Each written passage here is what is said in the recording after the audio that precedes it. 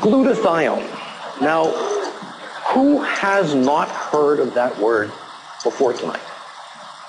There's still a lot of people raising your hands. It wasn't that long ago where I would go give a lecture to a couple hundred people, and maybe there was a handful of folks putting up their hand. But I guarantee you this, that in the next five or six years, everybody will be using the word glutathione as commonly as you use the word antioxidant, as commonly as you use the word cholesterol. As of the present date, there's over 65,000 65,000 articles on glutathione. Every time I open up a medical journal, every time you open up a health magazine, you are going to hear about glutathione. So get very used to that word. What is glutathione? A, again, it's a small little protein made up of three amino acids. And you all have glutathione in your body already. What does glutathione do? Well, when I speak to a medical audience, I'll have a, a PowerPoint uh, presentation and show you 20 or 30 different things that glutathione does on an intracellular level. But tonight, if you can remember just three things, then we've done our job in educating you.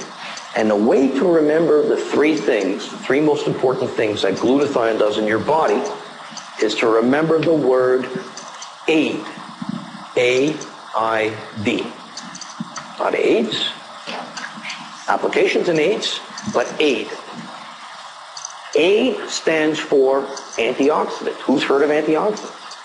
Uh, everybody's heard. It's a patronizing question, but the reason why I ask it is to make a point. If I would have asked you 30 years ago, maybe there wouldn't have been a few people raising their hands. But now everybody's heard of antioxidants, so you would think that given the importance of antioxidants in so many health issues, that your body would make its own antioxidant? And in fact, it does. The most important antioxidant, the most abundant antioxidant, the most active antioxidant that you make is glutathione. And this is one of the reasons why, if you look at the literature, you see glutathione described as the master antioxidant. The other reason why it's called a master antioxidant is, get this, none of the other antioxidants that you mentioned, none of the other antioxidants that you're going to find at a health food store or a pharmacy, none of them could work were it not for the presence of glutathione. We said AID. Let's move on to I, the immune system. Another hot topic. Hmm. Are you able to pick up a newspaper these days without reading something about the immune system. You're reading about Ebola, you're reading about West Nile, you're reading about the avian flu, you're reading about all these wonderful bugs that are making themselves into our population. Your immune system is set up to protect your body from anything that's supposed to that's not supposed to be in your body what we call a foreign antigen and a foreign antigen could be a bacteria, could be a virus, it could be a fungus, uh, uh, could be many different things that aren't supposed to be in your body. Your immune system is set up to prevent that from happening. If you start running low on glutathione, your ability to fight off an infection becomes blunted.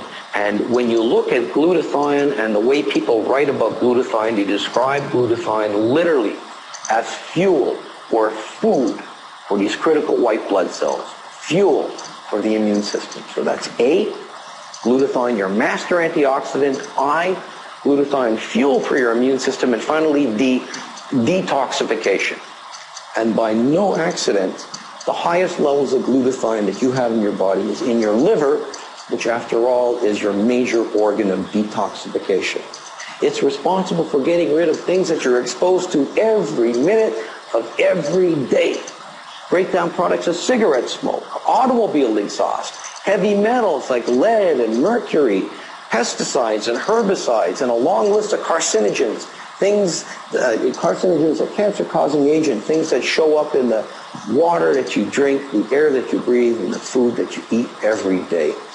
And I tell people that next to water, next to water, there's no more important detoxification substance in your body. When you understand the importance of glutathione in each and every single cell of your body, you'll understand why this is so critical to maintaining your health. Thank you very much for your attention.